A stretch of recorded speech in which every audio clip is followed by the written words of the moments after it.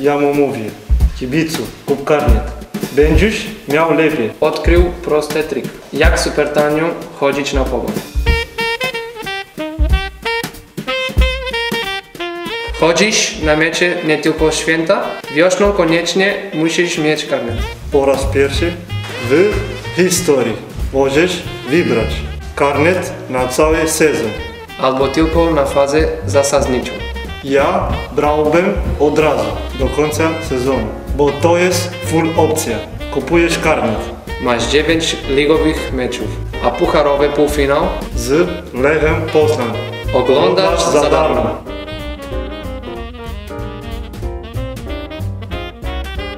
Jeśli w rundzie finałowej Zagramy 4 mecze u siebie. czwarty dostaniesz w prezencie. Jeśli awansujemy, Do finału Pucharu. pierwszej kupisz bilet. Oczywiście płacisz mniej niż za bilety. I dostajesz prezenty. Kapitalnie, Kalendarz. a jeśli kupisz karnet do świąt, Dostaniesz bon o wartości 20 zł. mało, Pamiętaj, że przyjdziesz zobaczyć. jak gramy dla Ciebie. Nie tylko od święta. Tak, bo karnet masz.